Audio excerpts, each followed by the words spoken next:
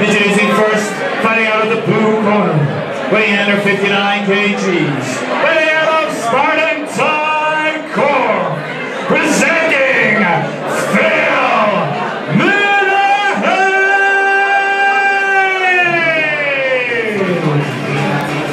As the following making his way to the ring, fighting out of the red corner. This man also weighing in under 59 kg.